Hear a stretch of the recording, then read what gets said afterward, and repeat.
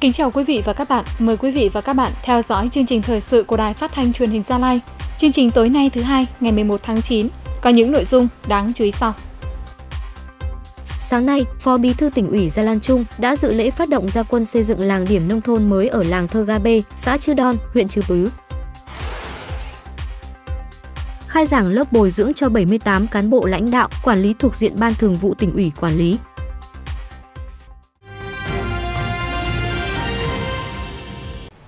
Sáng nay ngày 11 tháng 9, đồng chí Gia Lan Trung, Phó Bí thư tỉnh ủy đã đến dự lễ phát động gia quân xây dựng làng điểm nông thôn mới ở làng Thơ Ga Bê, xã Chư Đon, huyện Chư Pứ.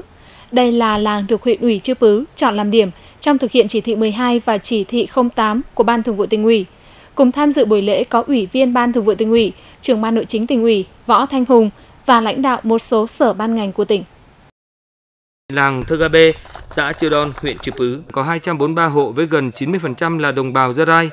Qua giả soát, làng có 12 trên 19 tiêu chí đạt chuẩn. Tại lễ phát động, huyện ủy Chư Pứ đã thể hiện quyết tâm chính trị cao nhất và huy động bố trí các nguồn lực để xây dựng thành công mô hình điểm trong thực hiện chỉ thị 12 và chỉ thị 08 của Ban Thường vụ tỉnh ủy tại làng Thơ Ga Bê, xã Chư Đôn, giúp nâng cao đời sống vật chất tinh thần cho bà con. Theo kế hoạch đến cuối năm 2024, làng Thơ Ga B sẽ về đích nông thôn mới. Về dự lễ phát động, Phó Bí thư tỉnh ủy Ra Lan Trung, Ủy ban Mặt trận Tổ quốc Việt Nam tỉnh và Tòa án Nhân dân thành phố Pleiku đã trao tặng 3 ngôi nhà tình nghĩa cho hộ nghèo ở làng Thơ Ga B. Sau lễ phát động, Phó Bí thư tỉnh ủy Đa Lan Trung cùng lãnh đạo các sở ban ngành của tỉnh và huyện Chư Pứ đã dự lễ khánh thành và bàn giao công trình tuyến đường thanh niên sáng xanh sạch đẹp do tỉnh đoàn Gia Lai trao tặng cho làng Thơ Ga B và xã Chư Đôn với tổng trị giá 60 triệu đồng. Sáng ngày 11 tháng 9, tại trường Chính trị tỉnh, Ban Thường vụ tỉnh ủy Gia Lai phối hợp với Học viện Chính trị khu vực 3 đã tổ chức lớp bồi dưỡng cán bộ lãnh đạo, quản lý thuộc diện Ban Thường vụ tỉnh ủy quản lý Dự lễ khai giảng có Phó Giáo sư Tiến sĩ Nguyễn Ngọc Hòa, Phó Giám đốc Học viện Chính trị khu vực 3 và các đồng chí lãnh đạo Ban tuyên giáo tỉnh ủy, Ban tổ chức tỉnh ủy, trường chính trị tỉnh. Tham gia lớp bồi dưỡng có 78 học viên là các cán bộ lãnh đạo quản lý thuộc diện Ban Thường vụ tỉnh ủy Gia Lai quản lý, diễn ra từ ngày 11 đến ngày 15 tháng 9 với 10 chuyên đề quan trọng là những vấn đề mới trên nhiều lĩnh vực theo tinh thần đại hội lần thứ 13 của Đảng, trong đó nhấn mạnh đến các vấn đề như bảo vệ nền tảng tư tưởng của Đảng, đấu tranh phản bác các quan điểm sai trái thù địch trong tình hình mới, xây dựng và phát huy giá trị văn hóa, sức mạnh con người Việt Nam theo tinh thần Đại hội 13 của Đảng, chuyển đổi số, xây dựng xã hội số, kinh tế số và những giải pháp thực hiện đối với tỉnh Gia Lai. Lớp bồi dưỡng nhằm cập nhật thông tin kiến thức mới và kỹ năng nghiệp vụ để đáp ứng yêu cầu nhiệm vụ trong tình hình mới. Cho các đồng chí cán bộ thuộc diện Ban Thường vụ tỉnh ủy quản lý từ năm học 2017-2018 đến năm học 2021-2022, toàn tỉnh Gia Lai đã giảm 83 trường học, giải thể 4 trung tâm giáo dục nghề nghiệp giáo dục thường xuyên cấp huyện. Theo tinh thần nghị quyết số 19 của Ban chấp hành Trung ương Đảng khóa 12 về tiếp tục đổi mới hệ thống tổ chức quản lý nâng cao chất lượng và hiệu quả hoạt động của các đơn vị sự nghiệp công lập. Đối với đội ngũ cán bộ viên chức người lao động của các đơn vị đã giải thể đều được sắp xếp bố trí công việc phù hợp hoặc giải quyết chế độ thỏa đáng theo đúng quy định. Triển khai cuộc vận động làm thay đổi nếp nghĩ cách làm trong đồng bào dân tộc thiểu số để từng bước vươn lên thoát nghèo bền vững, gắn với việc xây dựng làng nông thôn mới trong đồng bào dân tộc thiểu số. Trong 5 năm, mặt trận Tổ quốc các cấp trên địa bàn tỉnh Gia Lai đã triển khai lồng ghép tuyên truyền, vận động được gần 7.900 buổi với trên 800.000 lượt người tham gia cấp phát 11.800 cuốn sổ tay đến cán bộ làm công tác tuyên truyền các cấp trên địa bàn tỉnh,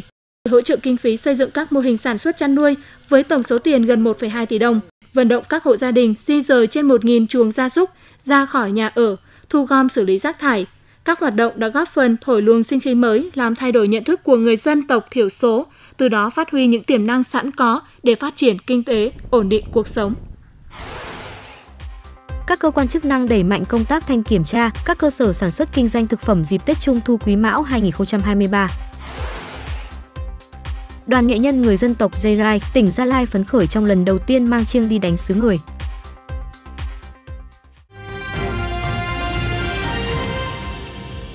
Thưa quý vị và các bạn, dịp Tết Trung thu hàng năm là thời điểm nhu cầu thực phẩm của người dân tăng cao, bao gồm cả số lượng và chủng loại – để thực hiện tốt công tác đảm bảo an toàn thực phẩm, các cấp ngành trên địa bàn tỉnh Gia Lai đang đẩy mạnh công tác thanh kiểm tra, kết hợp tuyên truyền về bảo đảm an toàn thực phẩm đối với các cơ sở kinh doanh nhằm đảm bảo quyền lợi cho người tiêu dùng.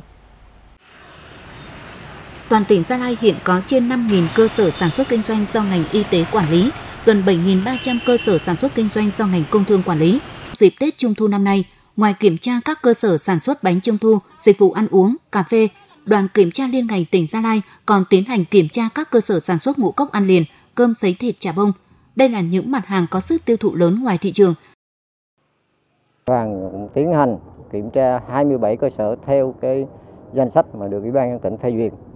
Thì qua kiểm tra thì đoàn tiến hành kiểm tra các cơ sở chế biến kinh doanh thực phẩm và đặc biệt là chú trọng đến là các cơ sở chế biến kinh doanh thực phẩm về bánh trung thu, kẹo, mứt, nước giải khát và qua kiểm tra nếu có vi phạm thì đoàn nghiêm túc tiến hành xử lý vi phạm hành chính. Hàng năm thì có các đoàn đến kiểm tra thì à, cũng như có những lỗi nhưng mà bên công ty đã khắc phục hết. À, tạ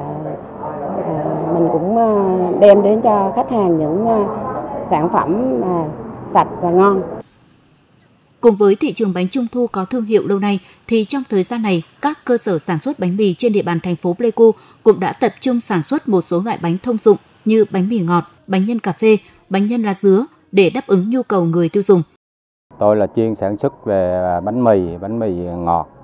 và cũng đã làm được cũng 30 năm rồi. Năm nay thì à, vấn đề thị trường thì à, nó rất là chậm và làm chắc cũng không được ờ, hai ba mươi phần trăm như ờ, lúc trước tôi làm. Nếu mà sau này có vấn đề gì thì toàn bộ cơ sở sẽ khắc phục. Chỉ còn chưa đầy 3 tuần nữa là đến Tết Trung thu, để đảm bảo an toàn thực phẩm cho người tiêu dùng, ngành y tế, công thương đang tăng cường phối hợp với các ban ngành, đoàn thể, địa phương đẩy mạnh tuyên truyền phổ biến các quy định về điều kiện vệ sinh, trang thiết bị dụng cụ, yêu cầu về kiến thức, thực hành của người trực tiếp tham gia sản xuất, chế biến thực phẩm theo các quy định hiện hành. Sau 3 ngày tranh tài sôi nổi, giải vô địch cầu lông tỉnh Gia Lai năm 2023 đã kết thúc. Ban tổ chức giải đã bế mạc và trao 16 bộ huy chương cho các vận động viên đạt thành tích xuất sắc. Đây là năm có số lượng tay vợt tham gia giải nhiều nhất từ trước đến nay, với gần 370 vận động viên. Trình độ chuyên môn giữa các vận động viên địa phương, câu lạc bộ trong toàn tỉnh cũng ngày một đồng đều hơn.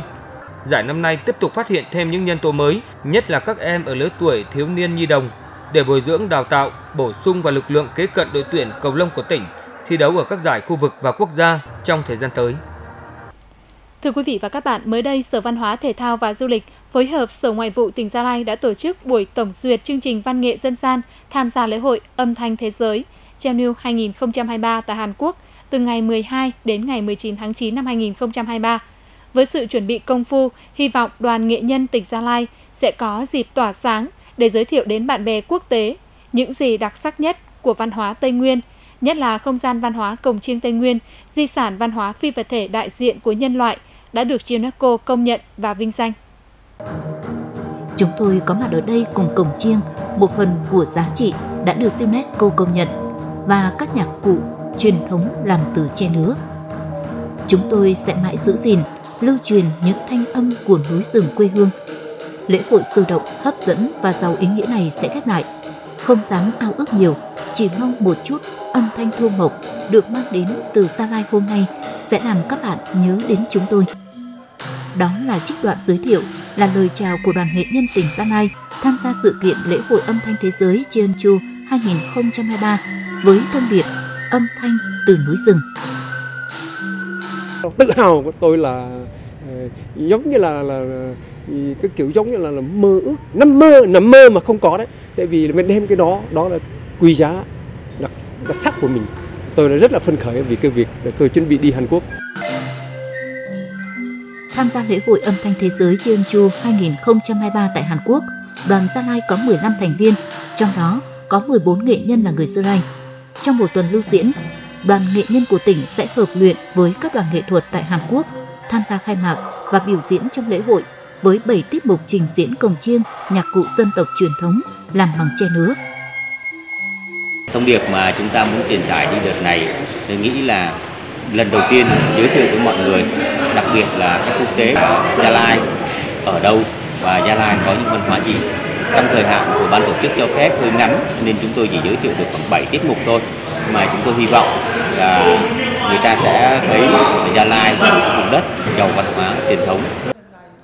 Lễ hội âm thanh thế giới trên chuông 2023 tại Hàn Quốc đợt này có nhiều quốc gia tham dự, do đó rất có ý nghĩa đối với tỉnh trong việc quảng bá, tăng cường mối giao lưu, quan hệ hợp tác về lĩnh vực văn hóa giữa Gia Lai với Hàn Quốc và các nước cùng tham gia sự kiện.